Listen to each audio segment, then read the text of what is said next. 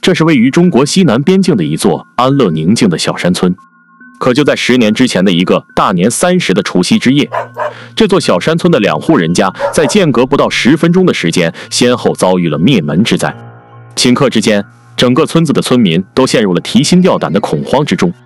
作案凶手的残暴手段，在中国公安的刑侦史上可以算得上是史无前例、闻所未闻。在这一起灭门惨案发生之前，小山村里到底发生了什么？作案凶手之所以选择在除夕当天大开杀戒，他是否有着什么特殊的目的呢？各位同学，晚上好。今天内心翻涌的龙叔将为你讲述的是除夕之夜村寨血案。案件的发生地位于云南省保山市西部的一座地热之乡腾冲县。作为中国大陆通往南亚和东南亚的重要门户，腾冲这个地方自古以来就是有着重兵镇守的极边第一城。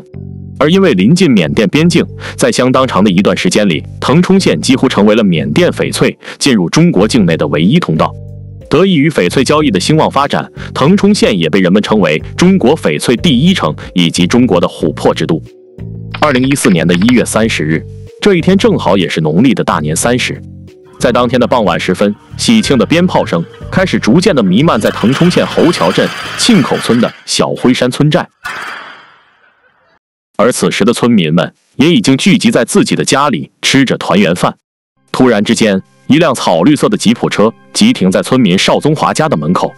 一名中年男子很快就从车里下来，然后手持一把长枪，跑进邵宗华家的院子里，开始疯狂的扫射。在当时，院子里一共有四个人，他们分别是邵宗华的父亲邵维志、邵宗华的母亲陈玉仙、邵宗华的大儿子邵永成。以及邵宗华的小女儿邵亚楠，面对持枪男子毫无预警的开枪扫射，站在院子门口的邵永成首当其冲，在手部中弹之后，他立刻马上就跑到院子的二楼躲避起来。而就在这个时候，老父亲邵维志已经接连中弹倒地不起，他的妻子陈玉仙则忍着伤痛爬到二楼，向着周边的邻居们大声呼救。可是，在他发出呼救之前，持枪男子已经闯入了一楼的厨房，对着正在做饭的邵宗华夫妇。又是一阵扫射，在枪声停止之后，邵宗华的家里满地都是血迹和弹壳，混乱不堪的场面让人不忍直视。而住在隔壁的村民们也匆忙赶了过来，帮着报警和救助。可是，大约在十分钟之后，从不远处的村民邵宗平家又传来了一阵连续的枪声。在当时，邵宗平的家里一共有四个人，其中第一个被撂倒的是站在院子里的大儿子邵本仆。接下来是还在厨房里吃着年夜饭的邵宗平以及他的妻子李生燕，最后是正在上厕所的小儿子邵彪。在短短的十几分钟里，两户村民一共有九人遭到了枪击，而作案的凶手早就已经不见了踪影。大约一个小时之后，幺二零救护车和腾冲县公安局的民警先后赶到了案发现场。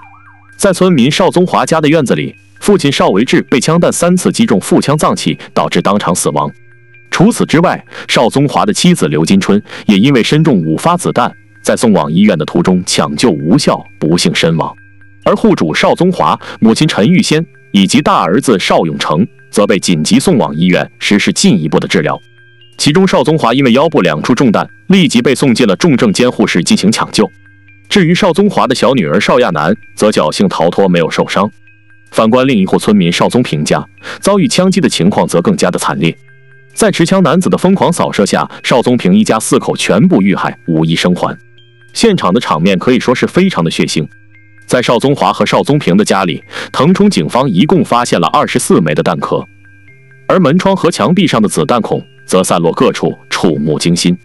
根据这些情况，腾冲警方推测，作案凶手所使用的应该是一种半自动的连发武器，很有可能是一把冲锋枪。虽然持枪男子对于枪械的使用并不是很专业，但是他的手段却极其的残忍。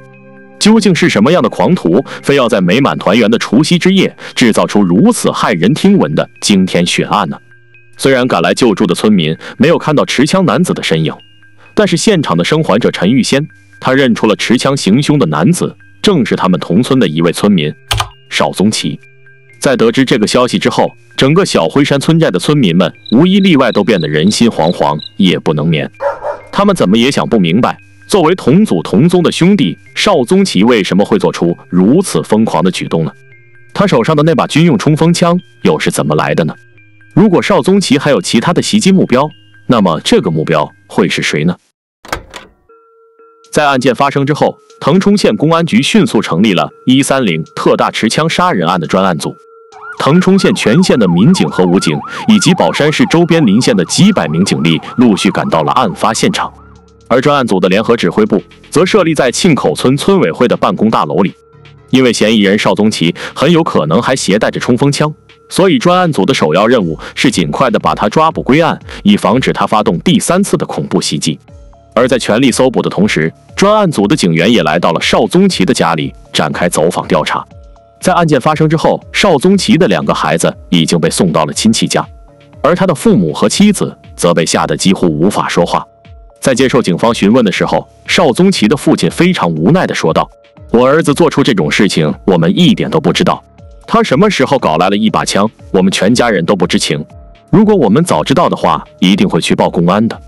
可是接下来，邵宗奇妻子刘本红的供述却完全出乎腾冲警方的预料。刘本红说，大约在半年多之前，她就曾经撞见过丈夫邵宗奇在二楼的房间里擦拭一把长枪上的雨水。但是出于对丈夫的恐惧，刘本红并没有对外声张，也没有去派出所报警。现在回想起来，她感到十分的悔恨和自责。专案组的警员担心邵宗奇还会持枪去伤害其他的村民，于是就试图向刘本红询问他有可能的去向。结果刘本红又说出了一个不为人知的秘密。刘本红说，在几年之前，他跟村民邵宗华和邵宗平之间曾经有过一些不正常的男女关系，因此他猜测丈夫邵宗奇持枪行凶的动机可能是跟他的这些不正当的行为有着直接的关系。而邵宗奇下一个要报复的目标，极有可能是隔壁村的一个叫做段从康的男子。根据刘本红的坦白供述，在几个月之前，她跟段从康的不正当关系也被丈夫邵宗奇给发现了，所以她对于段从康应该是怀有强烈的恨意的。听到这两个预料之外的消息，办案的警员感到有些兴奋，他们马上把这个情况向专案组指挥部进行了通报，而专案组指挥部也迅速做出了推断。他们认为邵宗奇接下来的行为可能就是两个目的，其中一个是逃跑，另一个则是继续实施报复。于是专案组决定兵分两路，其中一路的警员迅速赶往段从康家进行防卫，而另一路的警员则继续留在案发现场的周边展开搜捕。段从康家所在的永兴村距离案发的庆口村小灰山村寨大约有二十多公里的路程，在案发当晚的八点半左右，专案组的警员就赶到了永兴村。幸运的是，段从康的一家老小还是安然无恙的状态。但是为了确保村民的人身安全，专案组的警员很快就把段从康家的小孩和老人统一进行了安全转移。他们留下了十多名的便衣警察蹲守在段从康的家里，以防范邵宗奇的突然出现。时间来到当天晚上的九点钟左右，专案组指挥部接到了一条全新的线索：一名在当地水电站工作的卡车司机向腾冲警方报告说。他在开车回庆口村的路上，曾经看到了一辆疑似嫌疑车辆的草绿色吉普车。在当时，吉普车正开往永兴村的方向，在一个拐弯的地方，车上的司机一只手握着方向盘，另一只手则打着电话，看起来神情十分的慌张。虽然卡车司机没能看清车牌号码，但是他的这个线索表明，邵宗奇在作案之后的逃跑方向，确实是在朝着永兴村那边去的。为了防范邵宗奇的持枪袭击，专案组又加派了十几名的武警战士守护在段从康家的周边。在这个漫长难熬的夜晚里，段从康和他的妻子一直都在屋里争吵不休，而嫌疑人邵宗奇并没有出现在永兴村。这个情况让专案组的警员感到有些疑惑：邵宗奇究竟逃到哪里去了呢？他已经报复了两个给他戴绿帽的男人，剩下的第三个男人，他为什么没有继续动手呢？在段从康家继续蹲守的同时，专案组指挥部也迅速召开了案情会议，研究邵宗奇可能的逃跑路线。案发的侯桥镇庆口村，它是刚好位于中缅边境的一个小山村，这个地方距离中缅边境大约是三十五公里，而从村子出来前往腾冲县城也只有四十二公里。为了彻底的封锁住邵宗奇的逃亡路线，专案组在通往缅甸、腾冲县城以及侯桥镇内主要山路的各个关键路口。全部都设置了检查站。与此同时，二十四个武装小组也开始在侯桥镇的境内展开全力搜捕。为了加快破案的进度，办案的警员还在腾冲县城以及各个镇街的繁荣地带张贴了协查通报。在协查通报上，腾冲警方详细描述了犯罪嫌疑人邵宗奇的相关信息，同时还给出了高达二十万元的悬赏奖金。除此之外，专案组指挥部还了解到，在最近的十多年时间里，邵宗奇曾经到缅甸从事过木材运输，并担任包工头，因此他在缅甸境内有着不少的熟人。考虑到邵宗奇在作案之后可能会连夜潜逃进入了缅甸境内，于是专案组指挥部又向缅甸警方发出了协查通报，要求他们协助抓捕。而缅甸方面也迅速做出了反应，并调动了大量的部队和警力，对中缅边境的各个交通要道实施了封锁检查。但是，嫌疑人邵宗奇所躲藏的地方却完全超出了中缅警方的预料。时间来到除夕夜之后的大年初一。在发生命案的庆口村小灰山村寨里，已经听不到任何喜庆的鞭炮声，取而代之的是从两户受害人家里时不时就传出来的哭泣声。为了查出邵宗奇可能的逃亡路线，专案组还派出了另一组的侦查员来到邵宗奇的家里展开社会关系的调查。根据邵宗奇父亲的陈述，他的儿子邵宗奇和儿媳妇刘本红原来就是同一个学校的小学同学，在初中毕业之后，儿子邵宗奇就开始跑运输。而刘本红则去读了师范学校，在毕业之后就回到了镇上的小学任教。邵宗奇和刘本红属于自由恋爱，两人结婚已经有将近二十年，家里生育有两个小孩。为了更好的照顾家庭，在生完第一个小孩的第三个年头，刘本红就辞掉了小学教师的工作，专心留在家里操持家务。而邵宗奇则攒钱购买了一辆大货车，常年在外面跑运输。在父母的印象中，儿子邵宗奇的夫妻关系一直都是和睦相处的一种状态。直到二零一二年的九月份，老父亲看到邵刘二人在家里发生了激烈的争吵，后来他才知道，原来是儿媳妇跟村子里的其他村民乱搞男女关系，而且还不止一个。面对警方的询问，邵宗奇的父亲很气愤地说道：“我跟老伴在村口边上经营着一个小卖部，平时很少回家。”我们怎么也没有想到邵宗华和邵宗平会搞到我们家里来，他们也有自己的妻子，却非要闯进别人家里来乱搞，这简直是欺人太甚了。在当时，对于家里出现了这种出轨的丑闻，老两口感到忐忑不安。但是他们实际上也不太清楚儿媳妇刘本红到底是自愿的还是被强迫的。而按照庆口村村委主任刘德恩的说法，刘本红不太像是那种会主动去勾引别人的女人。一是因为她的模样在村子里并不算特别的漂亮，二是因为她在平时的话也不太多，身上的穿着并不算花哨，也不算暴露，看起来不是那种特别爱打扮的女人。根据刘本红自己的陈述，她出轨的事情分别发生在二零零零年、二零零八年以及二零一二年。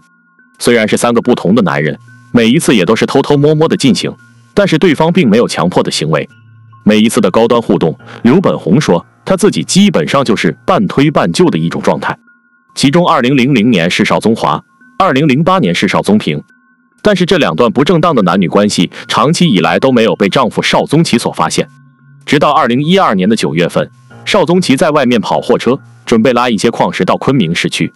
而妻子刘本红则跟车坐在副驾驶上，负责照顾他的起居饮食。有一天，邵宗奇在家里休息，刘本红独自一人去矿场里办理开票手续。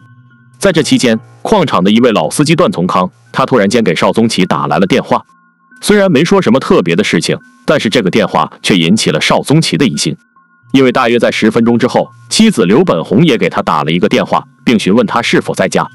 在事后，邵宗奇找到刘本红，并质问他和段从康一前一后打电话的原因。结果刘本红支支吾吾的回答不出合理的理由。到了第二天，邵宗奇偷偷检查了段从康的大货车。结果他发现自己家里所购买的食物包装袋居然出现在段从康的车上，由此邵宗奇断定妻子刘本红肯定是上过段从康的车，于是他开始了灵魂的拷问。在刘本红死活不承认的情况下，邵宗奇用一个狠狠的耳光获得了他猜忌中的结果：亲爱的妻子居然跟别的男人发生了关系，这让邵宗奇感到愤怒和难以置信。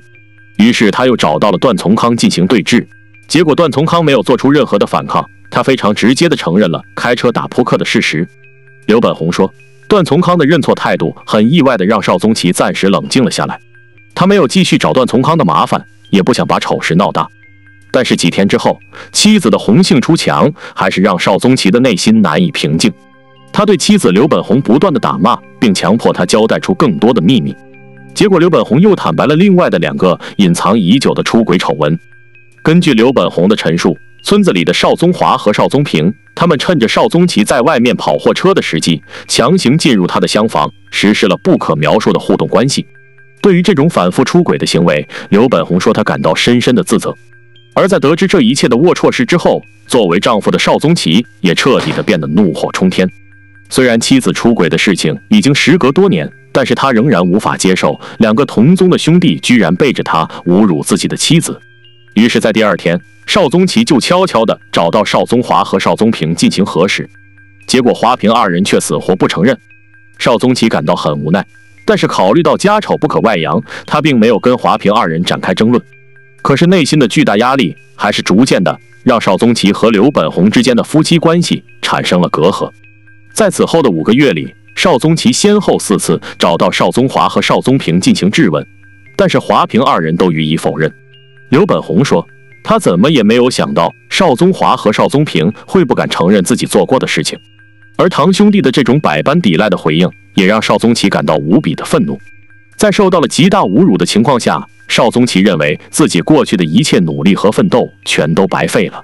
于是，在二零一三年的六月份，他带着一份状纸来到了侯桥镇的人民法庭，起诉妻子刘本红在婚内出轨，并要求法院判决他们离婚。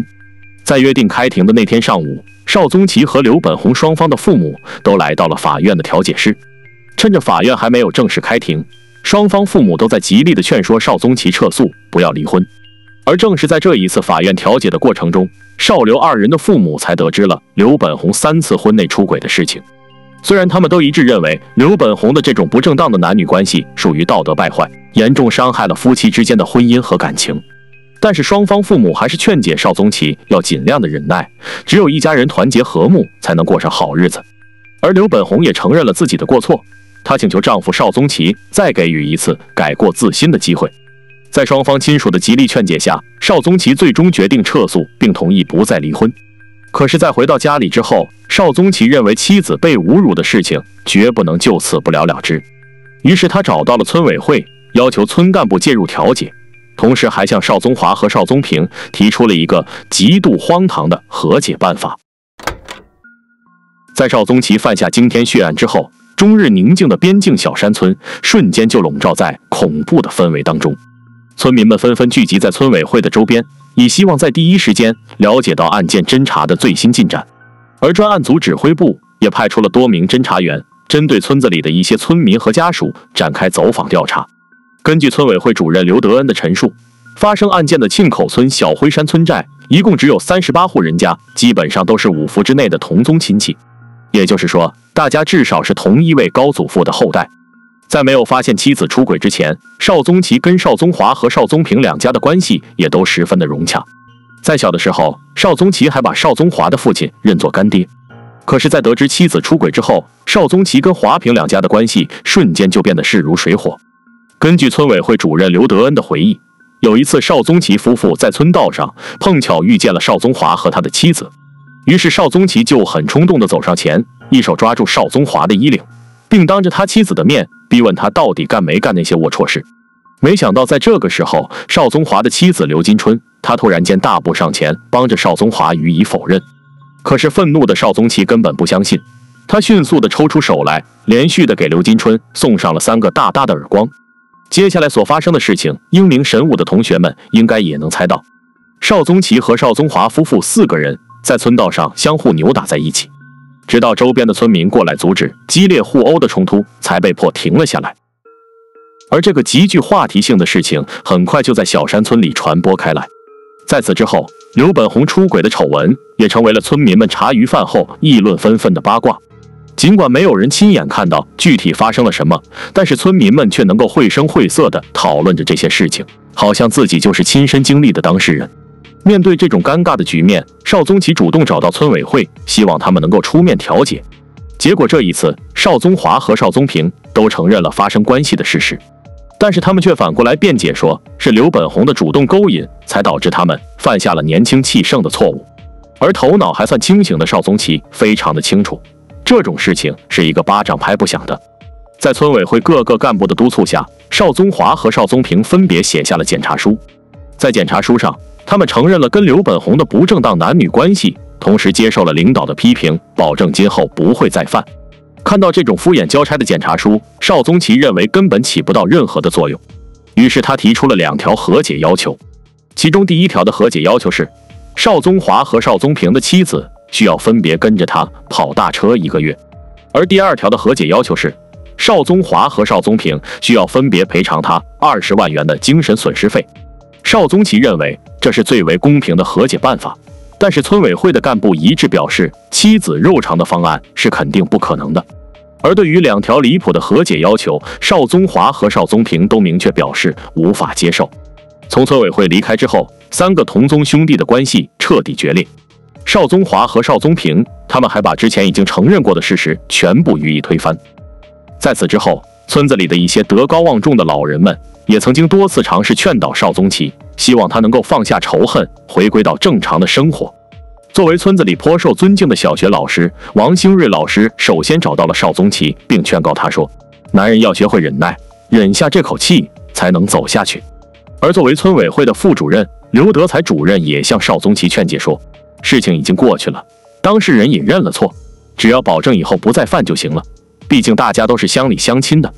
在他们看来，事实上，一个男人长期在外打工，家里的妻子红杏出墙，跟其他的男人有染，这也并不是什么闻所未闻的事情。生活总是还要继续过下去的。经过各位村干部的私下调解，大家都以为这场出轨风波应该可以告一段落了。可是谁也没有想到，表面平静的邵宗奇已经产生了一个无比疯狂的报复念头。在案发前不久的二零一四年一月十四日。邵宗奇再一次来到法院，并坚决要求与妻子刘本红离婚。这一次，邵刘两边的更多家属纷纷聚集在法院的调解室里。刘本红的两个妹妹甚至跪在了邵宗奇的面前，他们一边抱着邵宗奇的双腿，一边劝说姐夫原谅他们的姐姐，不要离婚。可是邵宗奇始终是冷漠以对，拒绝妥协。而就在这个时候，负责审理案件的法官李成平，他很敏锐地察觉到邵宗奇的离婚诉求，并不是真正的想要结束婚姻，他真正的目的应该是想要借助离婚的手段，向那些羞辱过他的人施加惩罚。可是李成平也非常的清楚，这种情绪化的报复是没有办法在法律的范畴内实现调解的。按照中国婚姻法的相关规定，邵宗奇只能向婚内出轨的妻子提出精神损害的经济赔偿。但是无论是第一次还是第二次的诉讼，他都没有提出针对妻子刘本红的赔偿要求，反而是想让邵宗华和邵宗平分别赔偿二十万元的人民币。很显然，这种法律调解的诉求并不在邵宗奇离婚起诉的范围之内。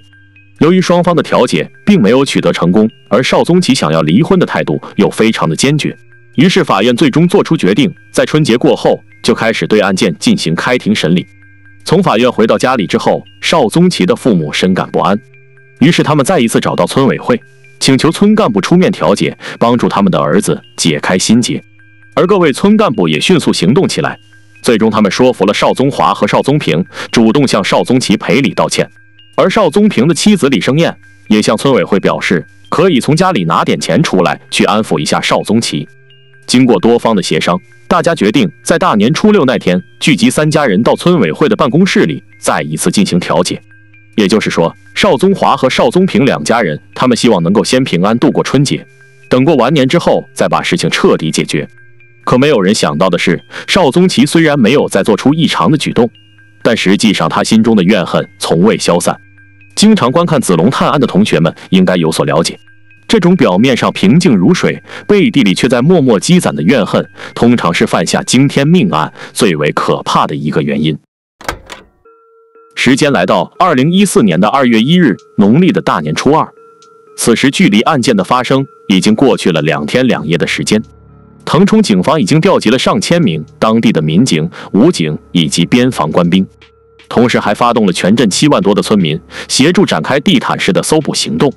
可是，在各个关键路口的检查点上，腾冲警方仍然没有发现邵宗奇的踪迹。由此，专案组指挥部作出推测，他们认为邵宗奇应该没有准备长期逃亡的计划。他最有可能的藏匿之处，应该是他比较熟悉的一些地方。而在永兴村的周边，负责防卫的警员和村民由始至终都没有发现邵宗奇的身影，因此腾冲警方推断邵宗奇极有可能已经逃到永兴村附近的深山里躲藏了起来。于是，专案组决定派出多个武警小组徒步进入山林，展开大规模的搜捕。虽然搜捕行动已经确定了以车找人、以人找枪的行动方案，但是地形复杂的深山野林仍然给腾冲警方的搜捕工作带来了极大的困难。另外，从邻县调过来的武警战士对山林的地形并不熟悉，因此他们只能依靠当地的村民在前面带路充当向导。可是，考虑到邵宗奇有可能还手持冲锋枪，搜山小组也只能采取相对谨慎的搜捕策略。他们先是把向导村民保护在队伍的中央，然后逐步的向山林的深处推进。而为了扩大搜索范围，腾冲警方甚至还调来了军用直升机来展开空中搜索。在大年初二的当天下午。其中的一个搜捕小组终于发现了一些关键的线索。他们在山腰的一个斜坡上发现了一辆草绿色的吉普车。在当时，吉普车的车身已经被树枝掩盖起来，而车子附近的路面上也做过一些伪装。很明显，邵宗奇是故意把车隐藏起来，不想被别人发现。在吉普车的座位和车厢里，搜捕小组并没有发现任何的武器或者是子弹。但是吉普车的发现还是给搜捕小组指出了两条关键的线索。线索一：邵宗奇的确进入了山林，并且他在弃车之后只能依靠步行来逃亡，而这也就意味着他不太可能逃得太远。线索二：根据吉普车所停放的位置，邵宗奇可能的逃亡路线一共只有两条，其中一条路是向左通往深山野林，而另一条路则是向右通往附近的村子。为了不错过任何的一种可能性，所有搜捕小组决定先集合起来，然后再兵分两路进行追捕。位于左边的一座深山野林，当地人称它为老仙山。山顶上有一座道观，里面还住着两位年过六旬的老道士。追捕小组先是询问两位道士是否有发现任何异常的情况，结果两位道士都做出了否定的回答。他们回忆说，大年三十的那天晚上，我们一直都在道观里收看春节联欢晚会的电视节目，直到十二点多才上床休息。在这期间，我们并没有听到其他的任何动静。随后，追捕小组还仔细搜查了道观里的所有房间，结果也没有发现枪支弹药或者是其他的可疑痕迹。但奇怪的是，他们在道观厨房的一个火堆里，居然找到了一块已经被烧毁的车牌。这个意外的发现表明，邵宗奇很有可能曾经进入过道观，并且在厨房里销毁了车牌。虽然追捕小组还想不明白邵宗奇这样做的目的到底是出于什么样的原因。但是根据这一条关键的线索，专案组指挥部已经基本确认，嫌疑人邵宗奇就藏匿在老仙山的山林里。于是，在大年初三的上午，专案组调集了更多的警力，展开大范围的搜山行动。他们希望能够通过这种打草惊蛇的策略，逼迫邵宗奇主动下山，举手投降。时间来到大年初四的清晨时分，一条全新的线索终于传到了专案组指挥部。在老仙山的山脚下，有一个叫做板桥村的村寨。有村民在板桥村寨里看到了邵宗奇的踪迹。经过随后的调查，专案组的警员发现邵宗奇所出现的具体位置是山脚下一户当地村民的家里，而这一户村民不是别人，他正好就是邵宗奇的一位近亲大姨。虽然追捕小组迅速锁定了这户人家，但是房间里边的布局他们并不清楚，而这个情况也给接下来的抓捕行动带来了极大的不确定性。面对可能持有军用冲锋枪的邵宗奇，即便武警战士有防弹衣和头盔，但是他们也没有办法能够完全保证战斗中的人身安全。为了确保万无一失，武警宝山支队的参谋长刘伟决定亲自上阵指挥抓捕行动。在大年初四的当天上午，参谋长刘伟先是换上便衣，然后他和另一名侦查员骑上了一辆摩托车，在邵宗奇所藏身的房子周边悄悄地绕了两圈，以熟悉周边的地形情况。与此同时，腾冲警方已经迅速疏散了附近的村民，以免行动中发生任何的意外伤害。而在房子的四周，数名狙击手也已经做好埋伏，严阵以待。时间来到当天下午的五点十五分，在摸清了基本情况之后，负责抓捕的武警战士决定采取行动。他们悄悄地潜入邵宗奇的大姨家，结果在一楼左边的一间卧室里，武警战士发现了熟睡中的邵宗奇。出乎意料的是，邵宗奇在被捕的时候并没有反抗。他的身上也没有携带枪支。经过仔细的搜查，武警战士在卧室里并没有发现任何的武器。面对警方的审问，邵宗奇最终交代，他的作案工具已经被藏在了老仙山道观的旁边。大约半个小时之后，腾冲警方在邵宗奇的指认下，从道观附近的一处山坡里挖出了他所藏匿的武器。这是一把仿制的五六式冲锋枪，而跟这把枪一起挖出来的还有四十多发的子弹。经过连续四天四夜的追捕行动，腾冲警方终于把犯罪嫌疑人邵宗奇绳之以法。可是，随着案件调查的逐步深入，专案组的警员才猛然发现，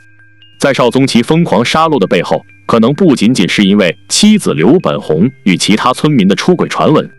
在腾冲县公安局的审讯室里，邵宗奇所供述的一些复杂且令人唏嘘的内情，足以让整个惊天血案变得更加的耐人寻味、细思极恐。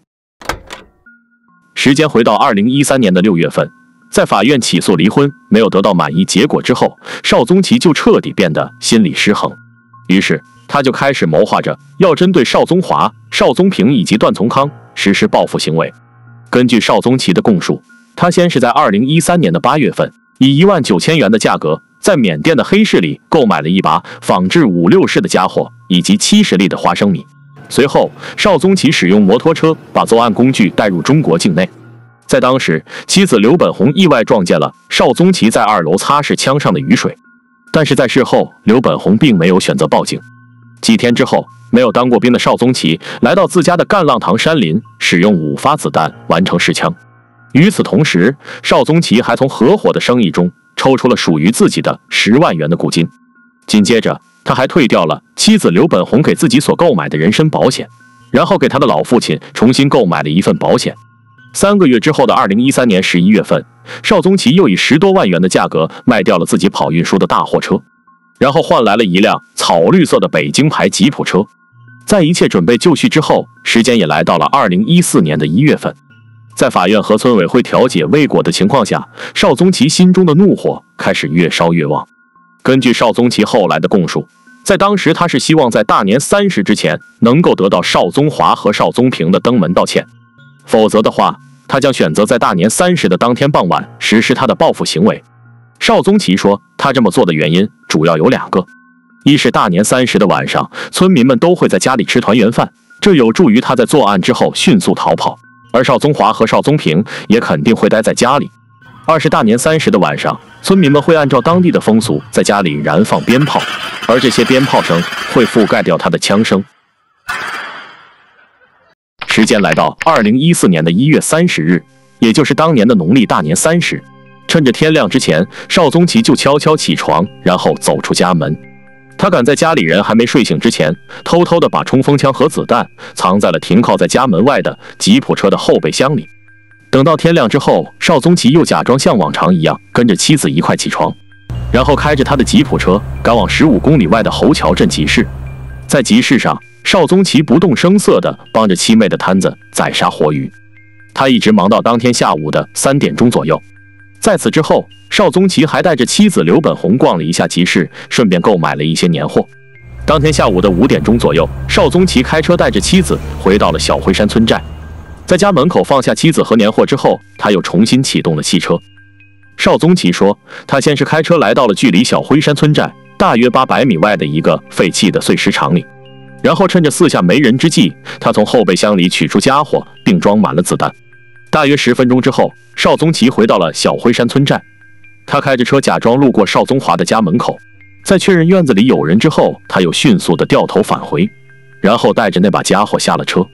在完成第一轮的疯狂扫射之后，邵宗奇意识到自己已经没有了回头路，于是他迅速开车离开了邵宗华家。在距离村口四百米外的一个僻静的角落里，邵宗奇重新装弹，随后又开车返回村子。这一次，他的目标是村民邵宗平家。不到两分钟的时间，邵宗奇就完成了第二轮的疯狂扫射。邵宗平一家四口全部遇难。根据后来腾冲警方的调查结果，三十七岁的邵宗奇一共开了二十四枪，其中有二十二枪击中受害人，两枪打空，最终造成了六人死亡，一人重伤，两人轻伤。其中身负重伤的邵宗华虽然保住了性命，但是根据医院的初步诊断，他的后半辈子可能都是行动不便的残疾状态。在审讯室里平静下来的邵宗奇感到非常的悔恨，他说自己家跟邵宗平家只隔了一条马路，每一次看到邵宗平一家和睦幸福的样子，他都会产生一种巨大的心理压力。邵宗奇告诉审讯的警员说，因为前后两次的离婚诉讼都没有获得满意的结果，最后还闹得沸沸扬扬，被村民们当成了笑话。我自己的日子是过不下去了，但是我也不能让邵宗华和邵宗平两家人好过。在完成了庆口村的杀戮之后，邵宗奇就开车前往隔壁的永兴村，准备找段从康实施最后的报复行为。根据邵宗奇原先的计划，段从康家一共有五名成员，他至少要撂倒三个人。可是，在半路上，邵宗奇却想到了另外的一个事情。邵宗奇说，他已经有所估计，在自己作案之后，庆口村的村民们肯定会对他的父母和小孩指指点点，冷眼相看。而段从康所在的永兴村，正好就是他母亲的娘家。如果他把段从康的一家人也给撂倒了，那么他的父母可能连永兴村也回不去了。为了让年老的父母有一个可以养老的地方，邵宗奇最终放弃了针对段从康家的报复计划。于是他开车逃进了永兴村旁边的老仙山里。可没想到，吉普车开到半路，突然间没有走不动了。邵宗奇只好弃车而逃。为了不让警方发现行踪，他先是把车牌号拆下来，然后用一些树叶掩盖了车身。凭借着对老仙山的轻车熟路，邵宗奇随后又潜入到了山顶上的道观里。他偷吃了一些道士的供奉品，然后在厨房烤火的时候，趁机把车牌拿出来扔进了火堆里。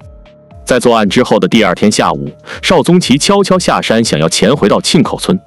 可是他发现各个路口都布满了武警士兵。思索片刻之后，他又返回到山顶道观的附近，在一处相对平整的山坡上，邵宗奇把冲锋枪和子弹掩埋起来，然后趁着夜色潜到了老仙山脚下的大姨妈家里。邵宗奇说：“他只是从大姨妈家里拿了一些食物，然后又返回到了老仙山躲藏起来。但是到了第三天的晚上，饥寒交迫的邵宗奇实在是熬不住了，于是他再一次返回到大姨妈的家里，然后就倒头睡着了。时间来到大年初四的清晨时分，大姨妈突然发现邵宗奇正睡在自己家的一个房间里，于是她毫不犹豫地选择了报警。在邵宗奇落网之后。”他的妻子刘本红也因为知情不报、涉嫌包庇罪，被腾冲县公安局实施了刑事拘留。据说后来他申请了取保候审，可是从看守所出来之后，小灰山村寨的村民们并没有看到刘本红的身影，谁也不知道他后来去了哪里。而在两个受害人的家里，现场已经被清理干净，墙壁上的枪眼也抹上了白灰，但是村民心头上的恐惧和不安仍然是无法消散。